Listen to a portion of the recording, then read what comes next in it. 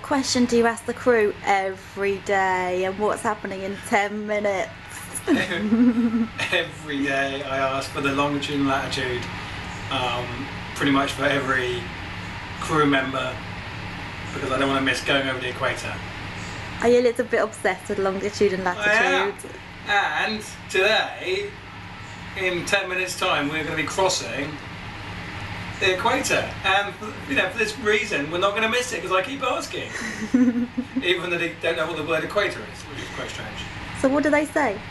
I just always go, latitude zero, latitude zero every day. Does it help that you say latitude? Latitude zero. Got it's um, really dark up at the bridge. It's, uh, it's very late.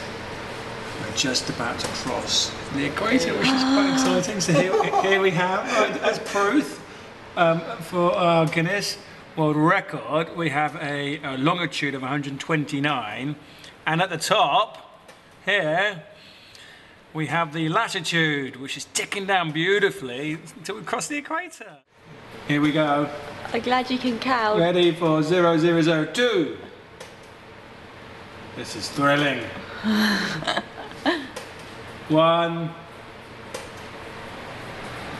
Yes! All right, we're now in the Northern Hemisphere. Woo!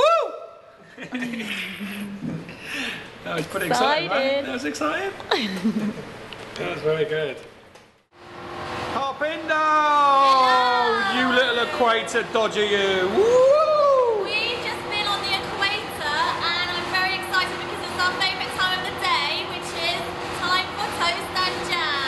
I love toast. We found the toast stash uh, da- day five. The food is not ideal on board. Sometimes it's really good and then other times it's quite um, minimalist. So there's like one type of meat and one type of vegetable and then another type of meat and rice. So today for dinner I had rice and cabbage.